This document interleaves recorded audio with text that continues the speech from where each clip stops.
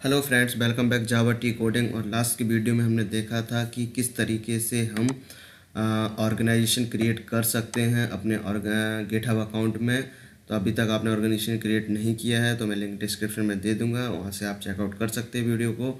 और आप वहाँ से समझ सकते हैं कि किस तरीके से हम ऑर्गेनाइजेशन बना सकते हैं अपने गिटहब अकाउंट में। और किस तरीके से हम अपने मेंबर्स को ऐड कर सकते हैं कंट्रीब्यूशन के लिए, ये देखो मैंने ऑलरेडी ऐड किया है।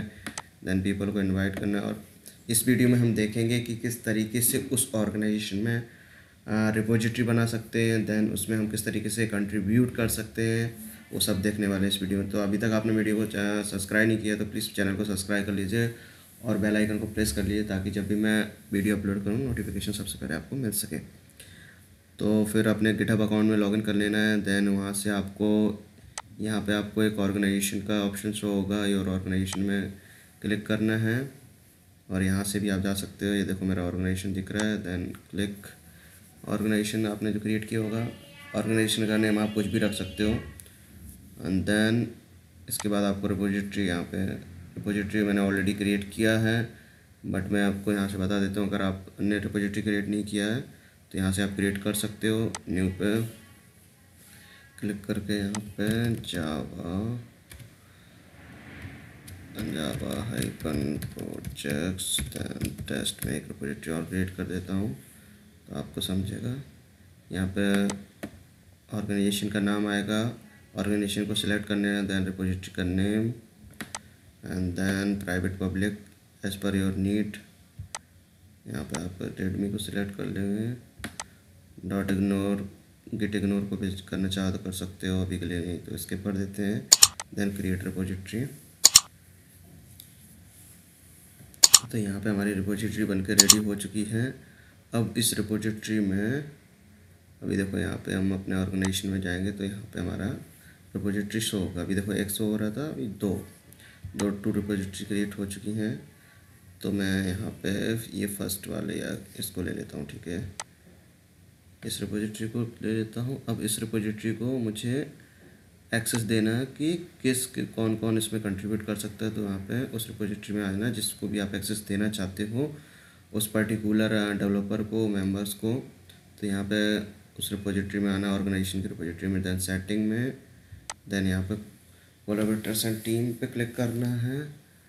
ये देखो यहाँ पे एक मेंबर बेस एक्सेस है and then direct access zero to this repository तो यहाँ पे हम एक मेंबर को ऐड करते हैं।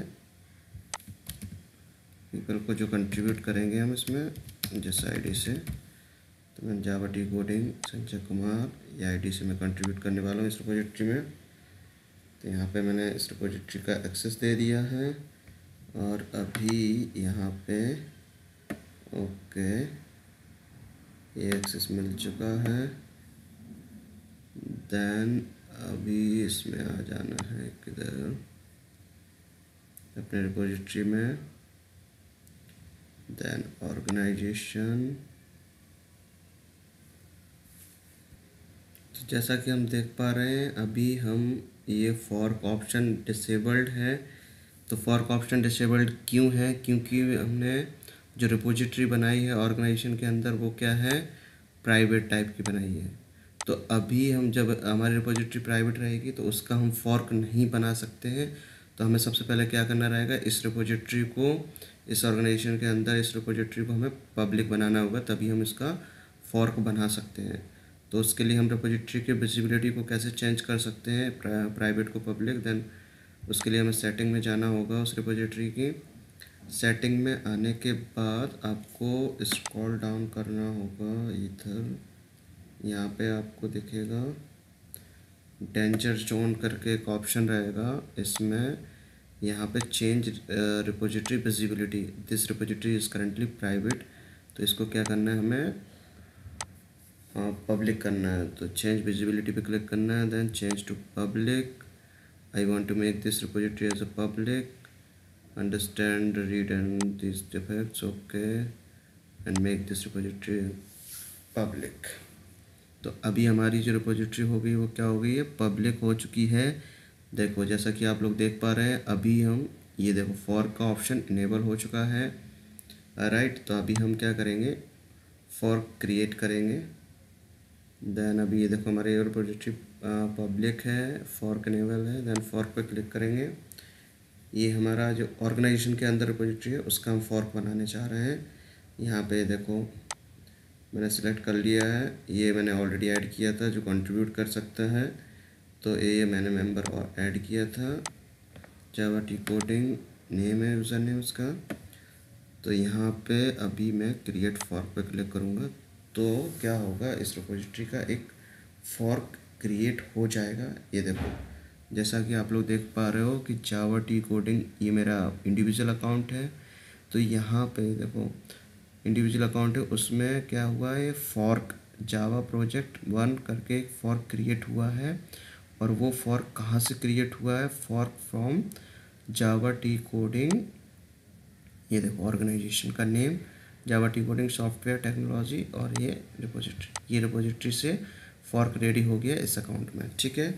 अभी हम क्या करेंगे, ये देखो यहाँ पे भी आप देख सकते हो कि यहाँ पे भी हमारा वन दिख रहा है fork is created one right ये देखो योर फॉर्क एग्जिस्टिंग ऑलरेडी यहाँ से जो फॉर्क बना है, कहाँ से बना है?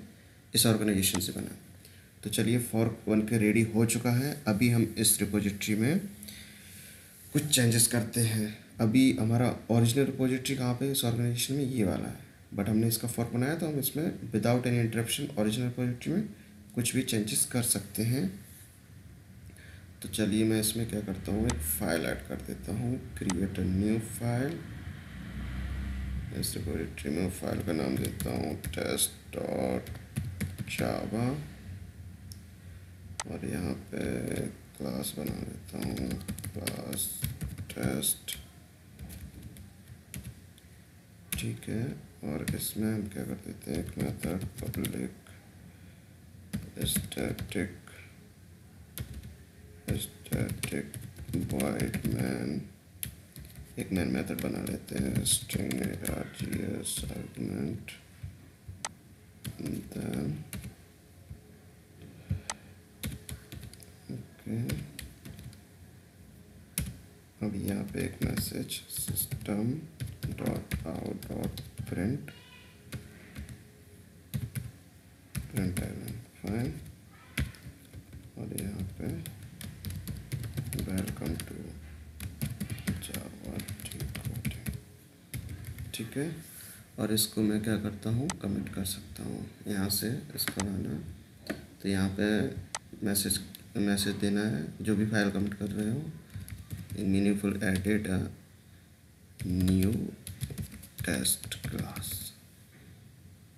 ठीक है? New test class and then comment